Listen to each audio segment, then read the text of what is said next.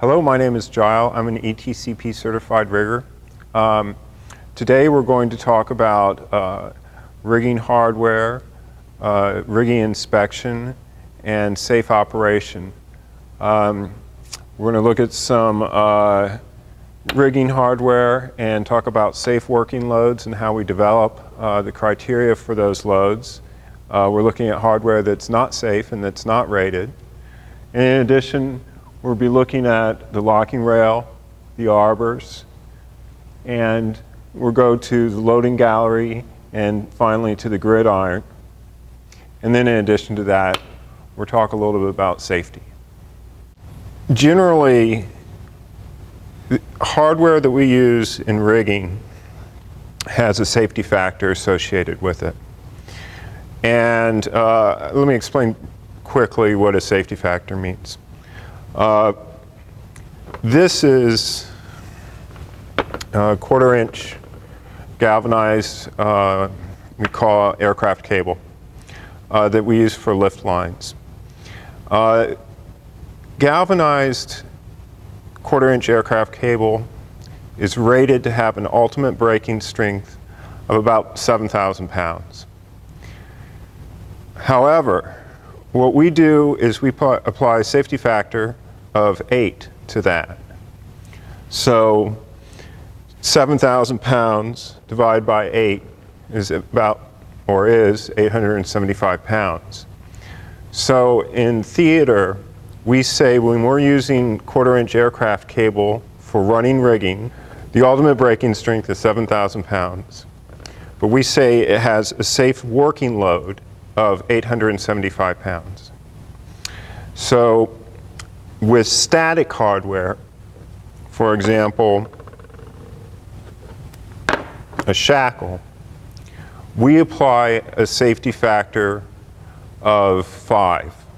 Static rigging hardware has a safety factor typically of 5 to 1, sometimes 6 to 1. Um, on that type of hardware, it's actually going to be stamped. So it says here, the working load limit is 3 quarters T, 3 quarters of a ton. So that's 1,500 pounds. That 1,500 pound, 1,500 pounds is what we say we can use this for. Now, ultimately, it has a much greater breaking strength. Um, but that's what we, that's our, our, our working load limit. Um, I'm going to give you some examples of hardware that is rated um, for overhead lifting and rigging and some hardware that you see frequently being used but is in fact not rated. Um, the easiest example is the dog clip or snap hook. Uh, this has absolutely no rating for um, overhead lifting. Also, uh, aluminum carabiners are not generally rated for overhead lifting. There's uh, some debate as to whether they can be used in, uh, in theater within the industry. I know carabiners get used a lot more in arena rigging and rock and roll rigging, but as a rule of thumb, I would discourage you from using aluminum carabiners for theater rigging. Um, and especially ones that are small and clearly not rated. Usually they're say somewhere not for climbing or stamped. But um, um, for making wire rope clips, there are basically two types. These types, these types are what we call malleable. Um, they're identified usually because they're kind of have this V and they have the points on them. Uh, malleable cable clips are not rated for overhead lifting. What we, what we do want to see is what are called forged cable clips. And uh, you can see, you kind of look at them side by side, how much more, how much more robust they are in construction.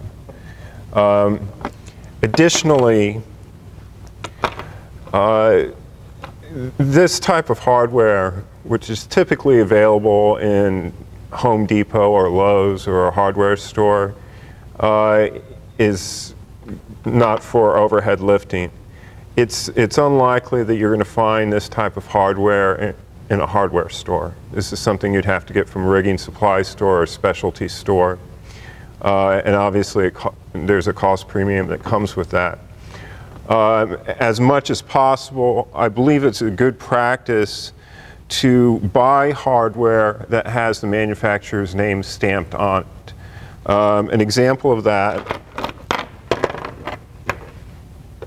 um, would be this, this shackle here that we saw before that has the working load limit. It also has uh, CM, which is the initials of the manufacturer. Um, and USA stamped on it. Uh,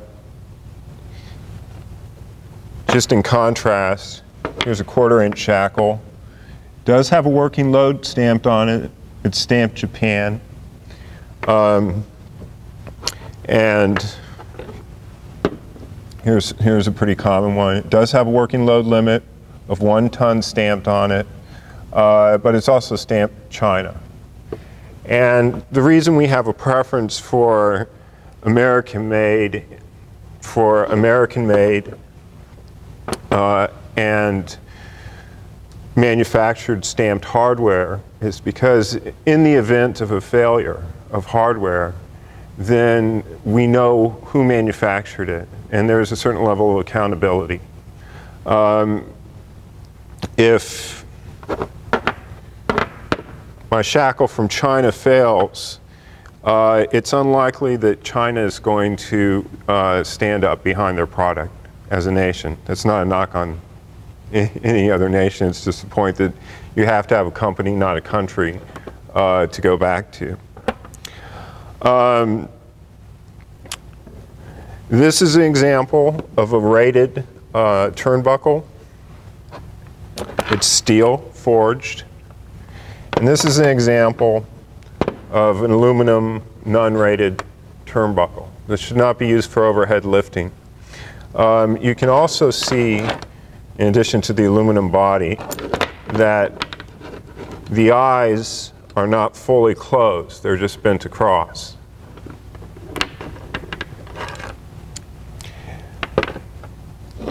This is an example of a forged eye that is rated and can be used for overhead lifting.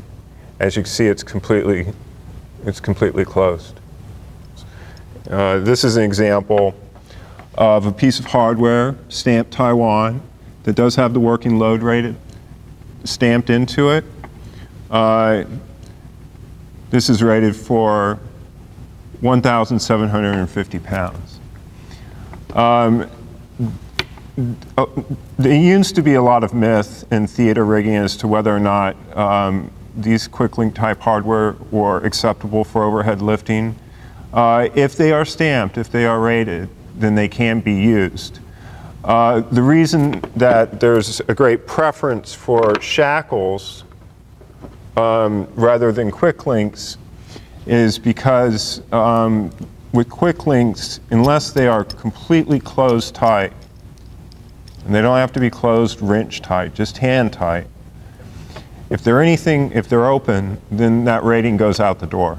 They're, they're fail uh, under a relatively light load. Hardware that is rated but not necessarily intended for overhead lifting um, or is not rated with a working load uh, it comes, we borrow from the automotive industry, from the Society of uh, Automotive Engineers. And uh, I just wanted to give you an example.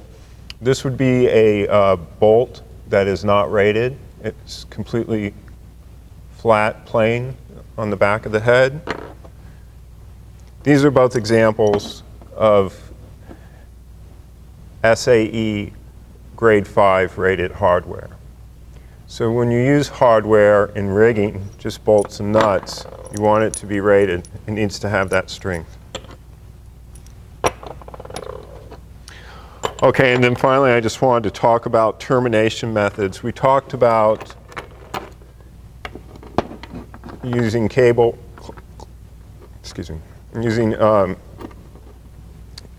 cable clips. Uh,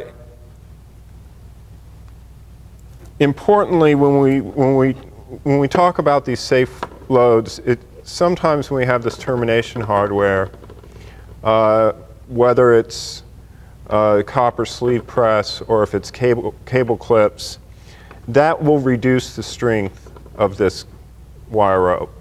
So we already said we were giving this reduction of um, a factor of 8.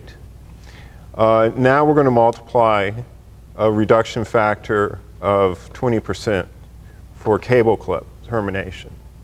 So that strength of the cable, what we just said was 875, now gets reduced down to 700 pounds.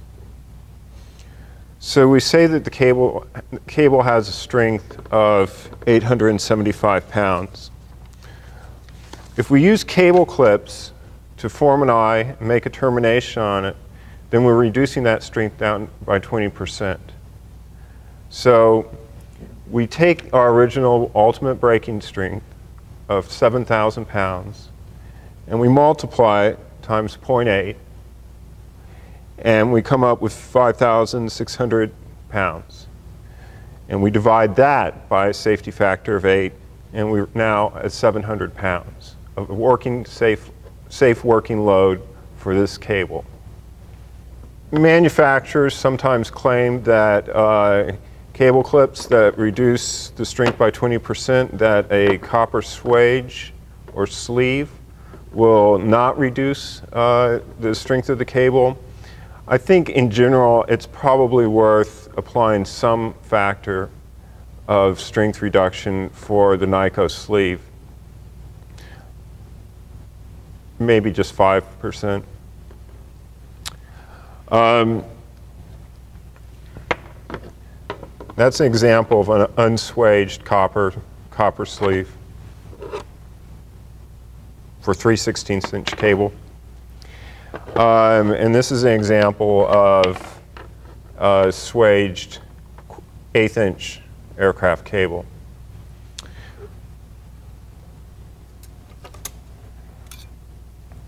As part of the inspection, what you will want to do is you will want to check on, on terminations of aircraft cable with cable clips what the torque is. You should have a precision torque wrench if you're going to do this.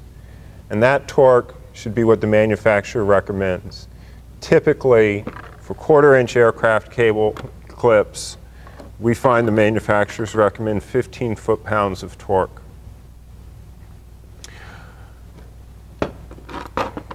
to check the correct termination of a copper swage, we have a variety of what we call go, no-go gauges. And the gauges, the gauge type is designed to match the tool type that made the swage. So that's a very important concept because there are different manufacturers of the sleeves, and even within those manufacturers individually, there are different tools that are used. Uh, tools like this one for Loco sleeves are going to be different than tools for Nico sleeves. Uh, this is an example of a Nico sleeve. And this is an example of the gauge that's used to check for compliant swaging. And you'd have to refer back to the cable size in the manual to know which slot should be, should be fit. In this case, it's a oval M, and it shows a compliant swage. If you come across a swage that's not compliant, then it should be re-terminated. Manufacturers generally do not recommend that you make an adjustment to the tool and re-swage it. Um, also, only copper sleeves, only copper sleeves are rated for overhead lifting. Aluminum sleeves are not acceptable.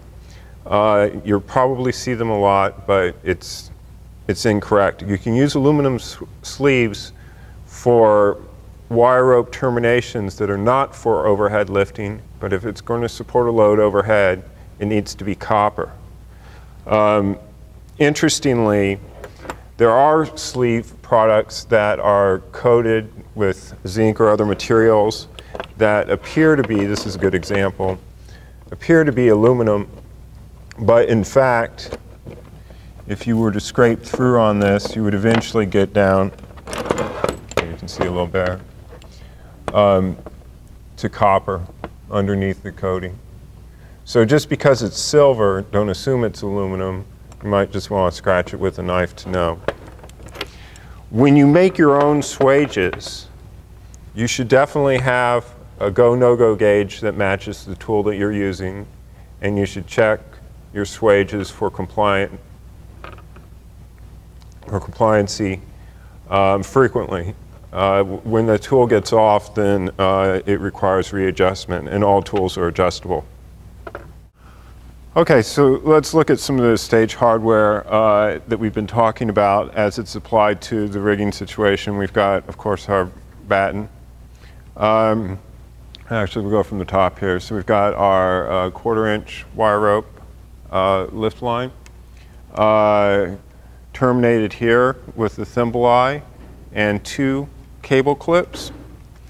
So we remember we've gone down now to where we're saying the strength here is 700 pounds when new.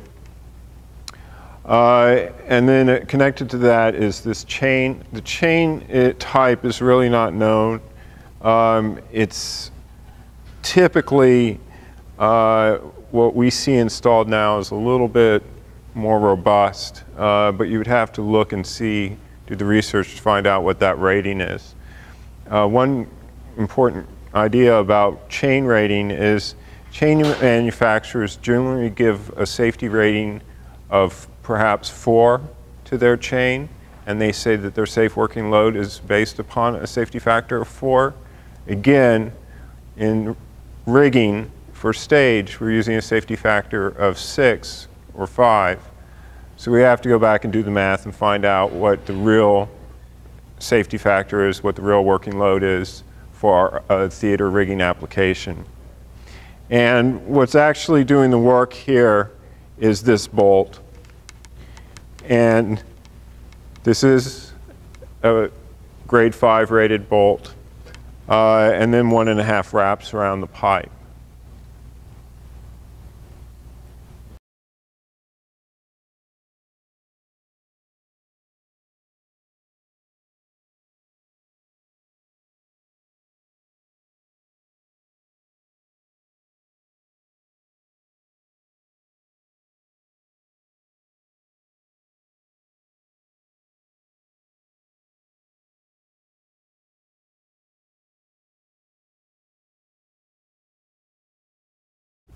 The type of inspection, you know, on, on a venue that you're working in, for example, uh, once you know that copper sleeve has passed its go test with the go gauge, you never have to check it again. It's not going to go out.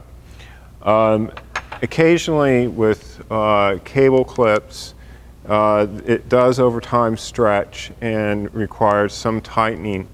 Uh, generally, this is very, very rare, uh, but it does happen. Um, so you set your torque wrench at the compliant torque. In this case, we're at 15 pounds.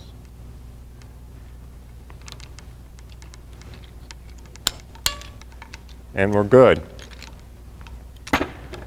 The other things you want to check for is if you have a shackle that's making your termination.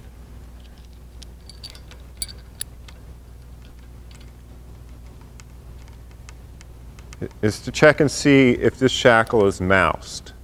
And by moused, we're talking about a very small thin gauge wire that you're going to wrap through the hole in the shackle pin and wrap around and tie itself off so that the pin cannot in any way become loose.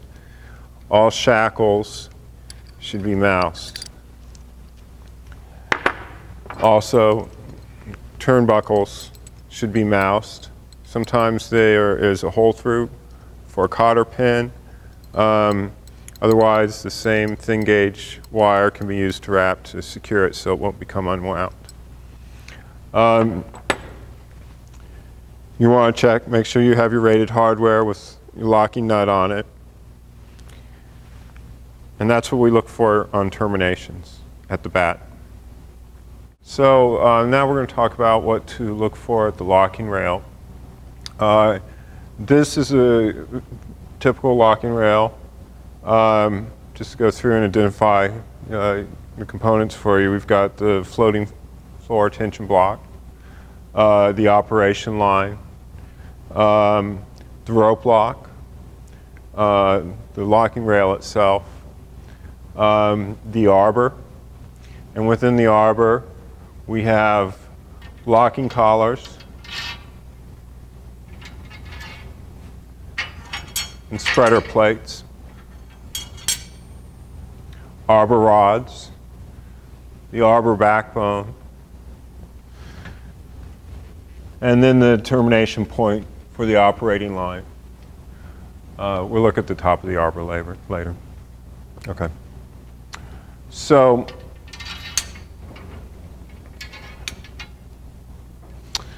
the idea of having a floating tension block at the floor originally came as a necessity when we were using um, manila, hemp, some kind of natural fiber rope, uh, which was subject to shrinkage or elongation based on environmental conditions.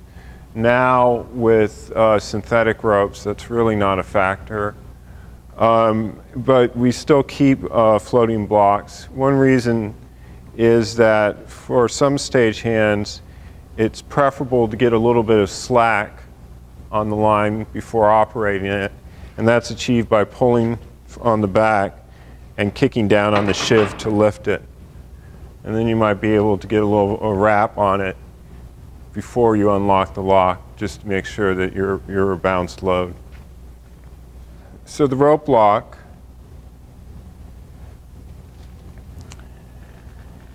uh, there's four bolts that secure the rope lock to the locking rail.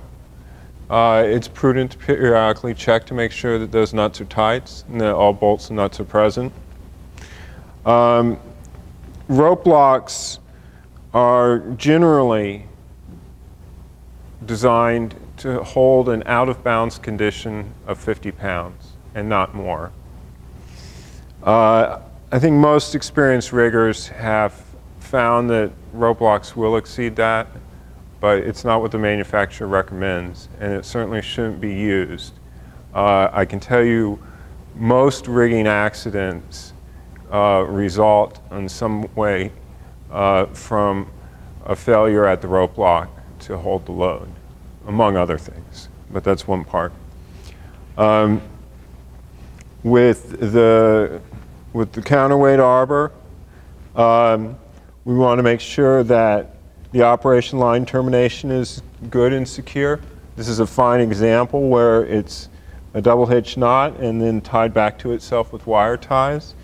Um, the one concern that you might have is if the tension block is all the way up and the tail is excessive, that you would have a condition where this tail is going to run into the bottom of the sheave.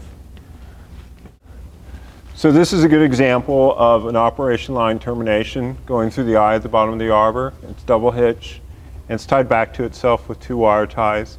Uh, sometimes it can be done with electrical tape. What you do want to be aware of is you want to have enough tail that you can make some adjustment later on, but you want to keep it short enough that when the arbor is in its low position, that that tail is not so long that it's going to run into the sheave of the block. So uh, as we look at the arbor itself, um, you want to look at the guides in the back. Make sure that they're not worn through. there should be a little bit of looseness to them. They shouldn't be real tight. Um, it's only a guide bar for the arbor. It's not supporting any loads. Um, at the arbor, we have these locking collars. Uh, locking collars should always be in the tight lock position unless the arbor is being loaded or unloaded with counterweights.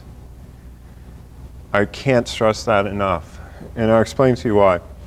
The purpose of the spreader plates on an arbor is in the event of an accident, of a runaway, um, it's, it's going to save the weights from falling off the arbor. So at the top of the arbor, we have the locking collars, and then we have spreader plates.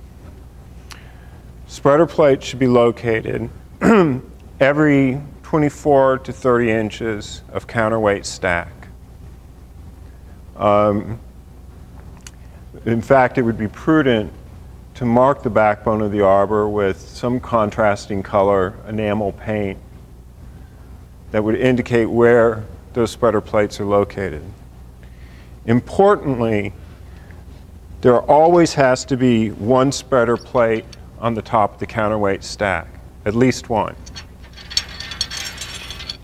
It's a very common misconception that one spreader plate is intended to be left on top of the batten weight on the arbor, the dead load, which in, in this theater is nicely marked with white painted weights.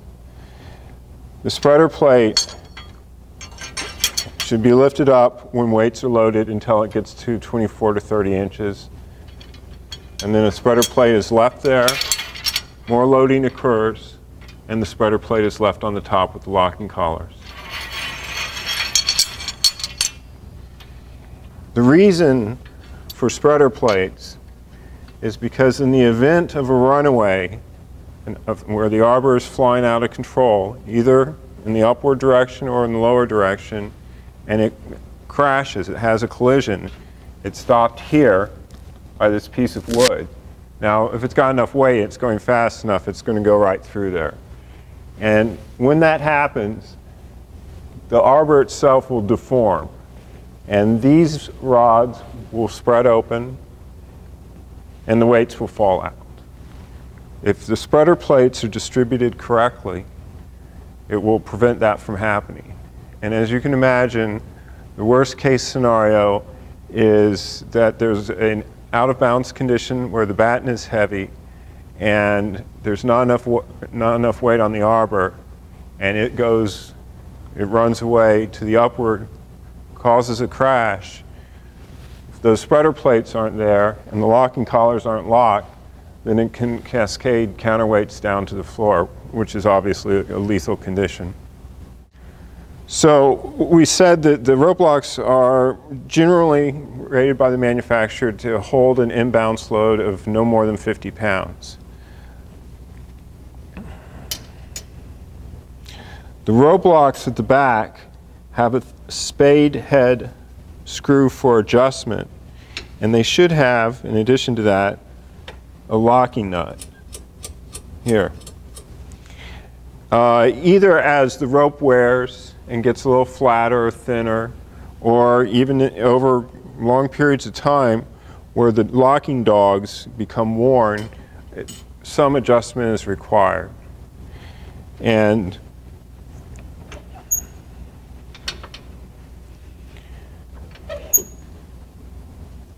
it should be such that you can't move, move the rope in the lock position.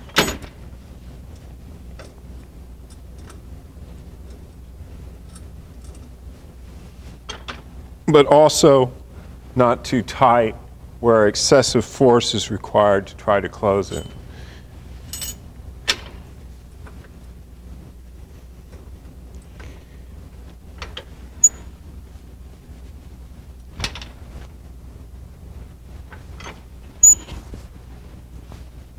That's, that's a good adjustment.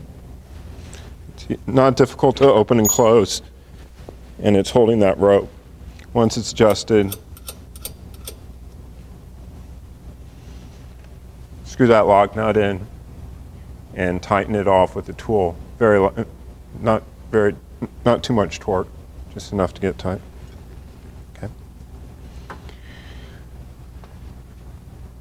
The most important consideration uh, at the loading gallery is not to stack uh, the weights above the toe rail so that there's no possibility it can be kicked off um, below. Um, the alignment of weights here up against the wall and again here up against uh, the toe rail is uh, an excellent configuration and should be maintained that way. So uh, now we're at the upper loading gallery at the gridiron level and we're looking at the top of the arbor and uh, just like the batten, the lift lines are terminated here. Um, these uh, uh, cable, cable clip uh, nut should be checked for torque occasionally. Um, and uh, we have a good operation line termination. Get a double hitch, tied back and uh, wire tied or taped to itself. Again, you want to have the same situation in terms of tail length that you get as much tail as you can to, for make adjustments, but short enough that it's not going to run into the of, of the head block above. Both of the arbor rods at the top of the arbor and the bottom of the arbor, there are nuts. It's prudent to check that these nuts are tight occasionally. Um, and that's what we look for at the top of the arbor. Uh, at the gridiron elevation, um, with the installed system, there's generally uh, not much uh, that goes wrong unless there's a modification to the system or there's an accident where damage occurs uh, or there was a problem with the uh, initial installation. Um, one condition uh, that can happen is because the lift lines here are not managed by a sag bar or idler pulleys, they're just kind of hanging loose, it's possible that they can, in slack, come down and run underneath the sheave of an adjacent lift line. And when that happens, then you've got the situation where it's actually running in one direction and the sheave is rotating in the other direction. So there's quite a bit of friction that's generated. A good rule of thumb is if you're operating a line set and you feel friction, either constant friction in operation or moments of friction in the travel of the batten in the arbor, then that should raise a flag. There's something wrong and it should be investigated. Uh, I've certainly seen situations where um, a lot of damage has occurred and uh, the users told me, yeah, we've heard this terrible noise for many, many months uh, before whatever happened eventually failed. Um, so in, in, addition to, uh, to having a feel for when there is or is not friction in the operating line, develop an ear, and when something is excessively noisy or squeaky, then investigate it. Uh, a lift line interfering with another lift line at the loft block is a good example of how friction can be created. Um, in some venues, there are sprinkler pipes, there are conduits that are mounted very, very close and sometimes interfere with lift lines. That would be a good, good example of where noise is being generated uh, and the lift line is slowly cutting into a conduit or a sprinkler pipe.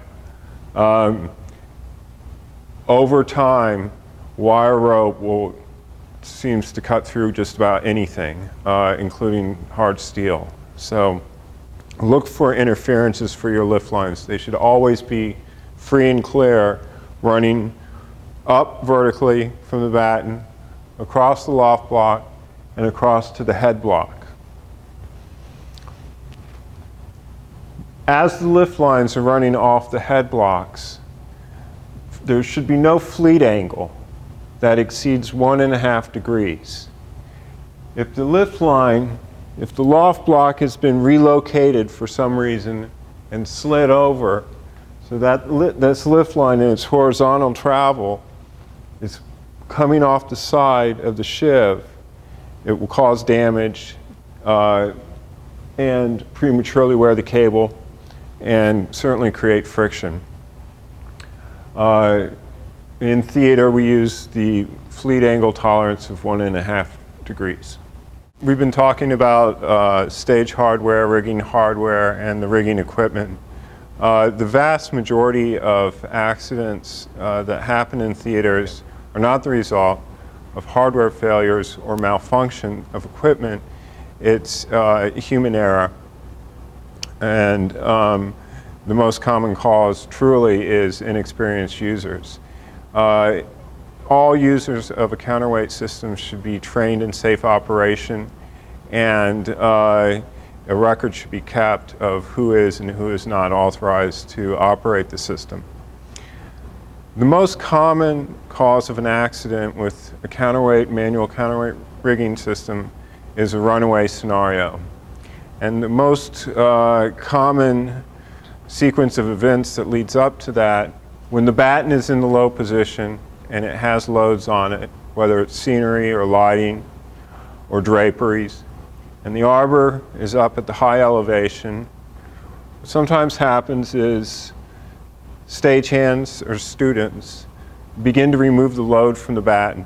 So they start striking the lights off, taking off the cable, uh, or taking off the scenery before the counterweights are removed at this elevation.